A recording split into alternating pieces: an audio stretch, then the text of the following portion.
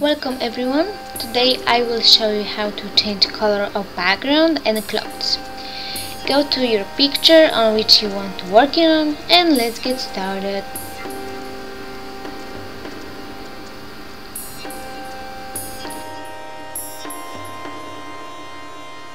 First duplicate your background layer with right click on the background layer and duplicate layer or press Ctrl J. Next, the most important step is to create new adjustment layer with hue saturation. On this picture, I'm going to change color of the dress for red. So I will use zip with hue and observe what is happening on the picture.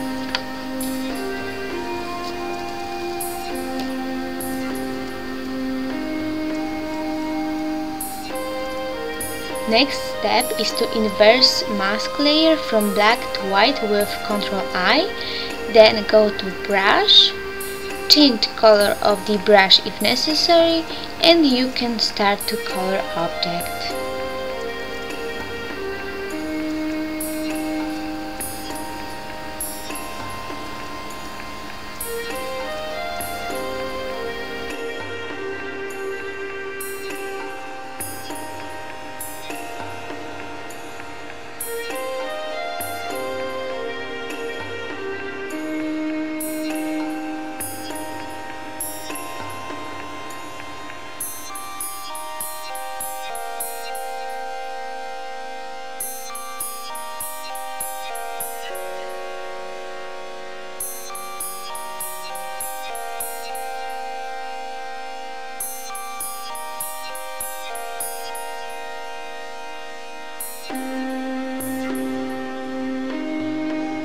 The same thing you can do with background if you want to change your picture for something crazy and original.